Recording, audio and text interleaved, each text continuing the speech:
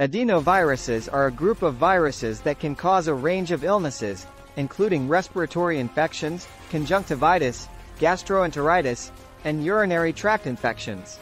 There are over 50 different types of adenoviruses, and they are commonly found in water, soil, and on surfaces. Symptoms The symptoms of adenoviruses vary depending on the type of infection.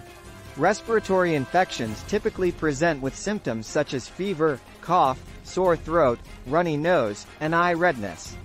Conjunctivitis, also known as pink eye, can cause eye redness, itching, and discharge. Gastrointestinal infections can cause nausea, vomiting, diarrhea, and abdominal pain.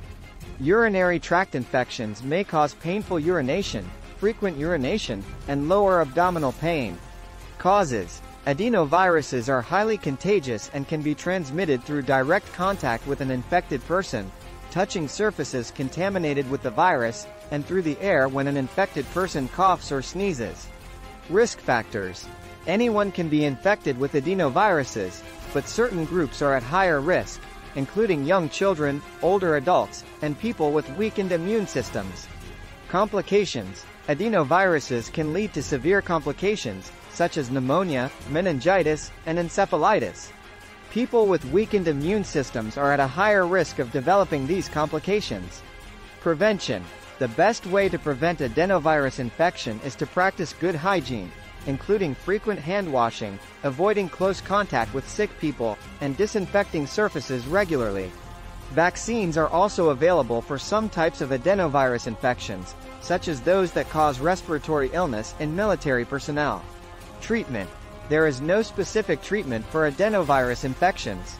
Treatment is usually supportive, aimed at relieving symptoms and preventing complications. This may include rest, fluids, and over-the-counter medications to reduce fever and pain. Antibiotics are not effective against viral infections and should not be used unless a bacterial infection is also present. In summary, adenoviruses can cause a range of illnesses, and symptoms vary depending on the type of infection. They are highly contagious and can lead to severe complications, particularly in people with weakened immune systems. The best way to prevent adenovirus infection is to practice good hygiene and get vaccinated when available. Treatment is supportive and aimed at relieving symptoms and preventing complications.